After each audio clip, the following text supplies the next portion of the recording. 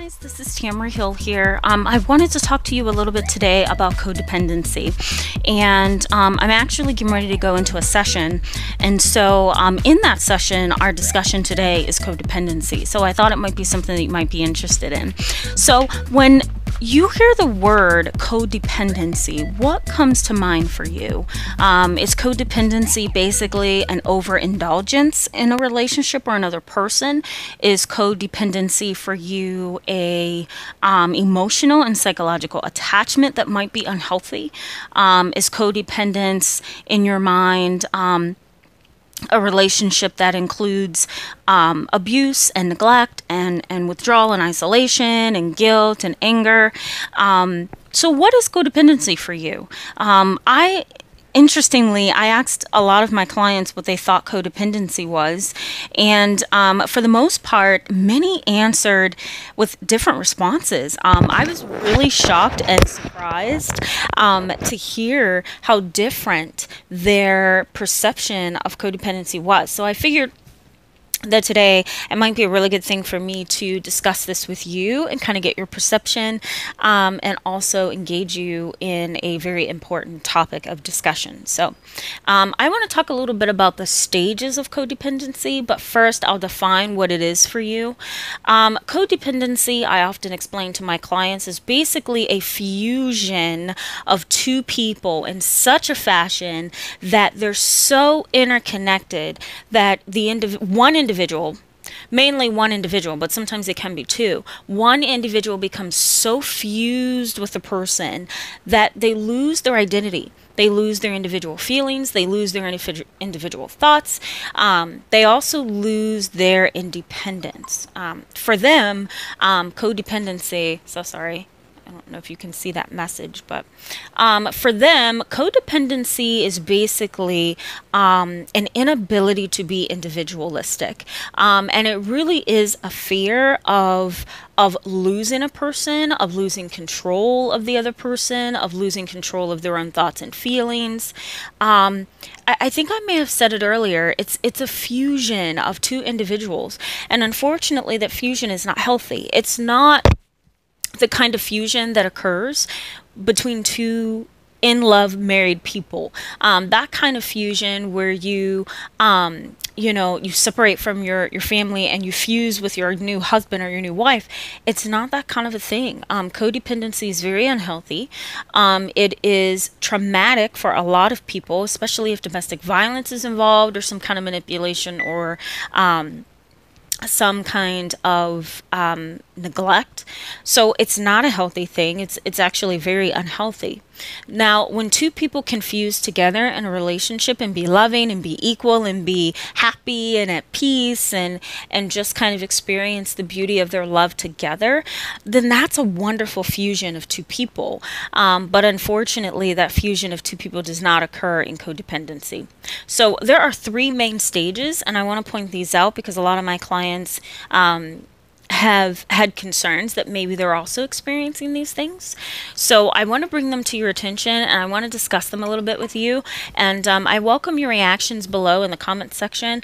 Um, I also welcome your questions just to see what you think of this particular topic um, because it is a topic that a lot of women are very concerned about. So um, let's go ahead and talk about the stages. So, what typically happens in a relationship between two people when it is new? What typically happens in those relationships. Um, for a lot of people, um, the, the start of relationships are so intriguing. It's romantic, it's fun, it's exciting. Um, it's something that kind of allows you to leave reality and experience kind of like a fantasy. You know, you start to fall for the person, um, you start to kind of, you know, weed through their persona, and you start to kind of separate, you know, who they are socially from who they are personally. And it really is intriguing.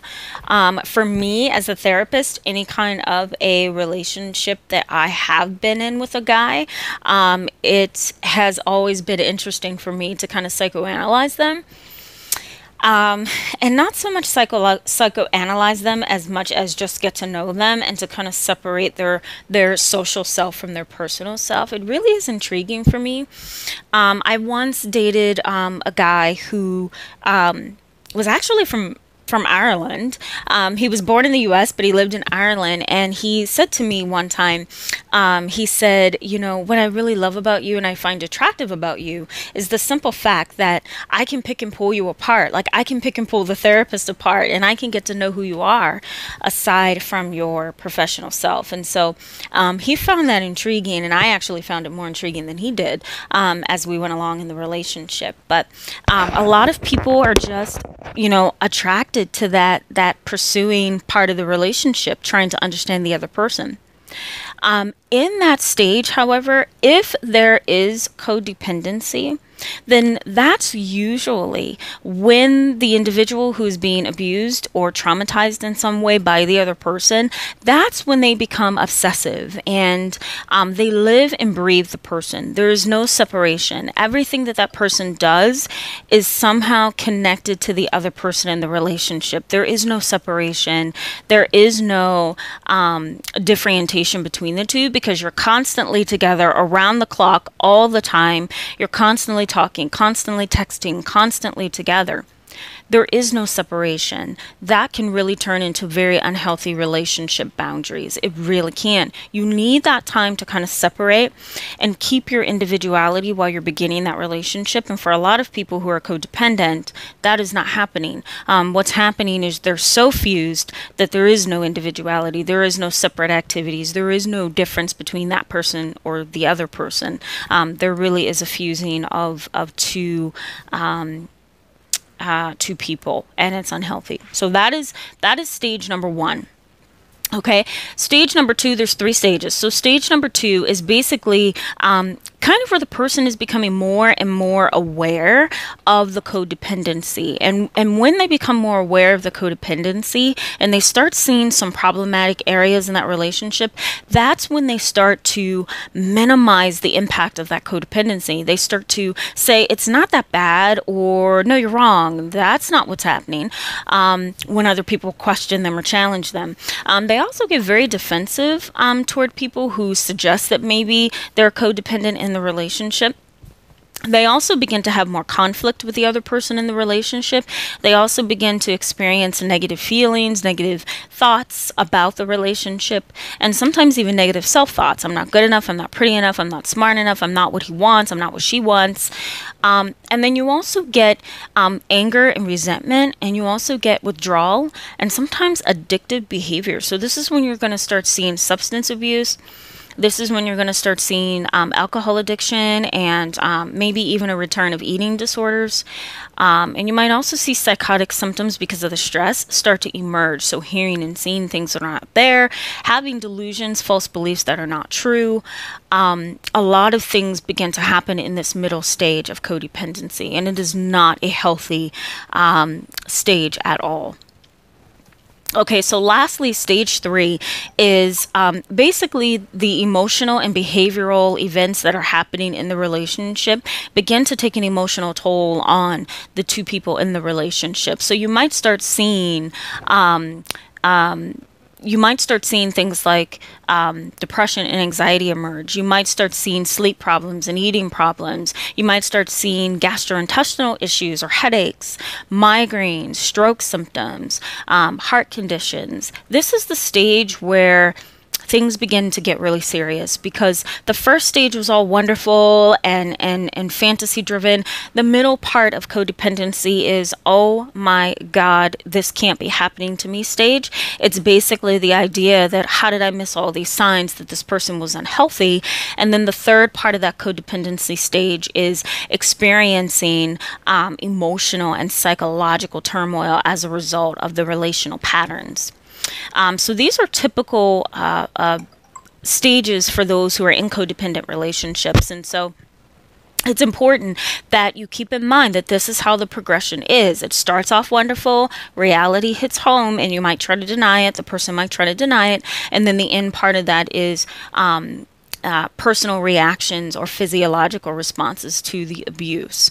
Um, and I call some codependency abuse because what happens is um, the person who is is the dominant one in the relationship, they tend to dictate what goes and what does not go. Um, and that especially happens in domestic violence situations. Um, so you want to be careful with that. So I, you know, I welcome your questions. I welcome your comments. This is a very important important subject, and I think it's something that we need to discuss a little bit further. I don't think there's enough um, information or articles about this, so we need to talk about it. Um, and um, next week, I'm going to be posting a video blog about some of the ways that you can protect yourself or some of the ways that you can protect somebody else who may be in a codependent situation. Um, so, in the meantime, I welcome all your comments and your questions, and stay tuned for next week as I post some of the things that you can do, or the person, or someone else can do, or someone that you love and care about can do to cope uh, if in a relationship with with someone who is codependent. All right, guys, thank you so much for tuning in with me today. Um, again, my name is Tamara Hill, and if you want to comment below, please do so. I look forward to your messages, and as always, I wish you well. Bye, guys.